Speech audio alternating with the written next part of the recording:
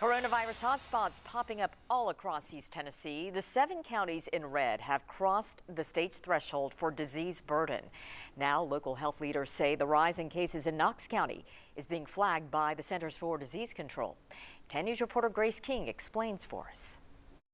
In the last month, Knox County cases of COVID 19 have nearly tripled. It's concerning. I mean, and that's how we ended up with CDC here. And now the CDC, FEMA, and the U.S. Department of Health and Human Services is taking a closer look. They did come because of um, seeing the rapid growth in cases in this area.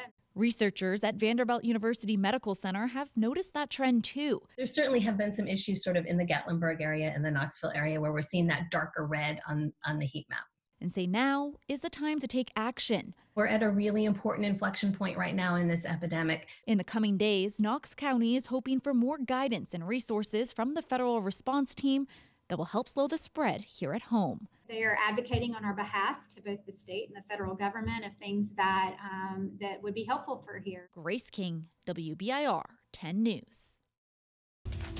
The state of Tennessee is reporting nearly 2,000 new cases of COVID-19 today. It is the second highest single day jump the state has reported. You can see the large number of new cases just this month. Now, every county in our area reported new cases today, and that includes 26 new cases in Blunt County. Hamblen County reporting 25 new cases, and there are 18 new cases in Sevier County.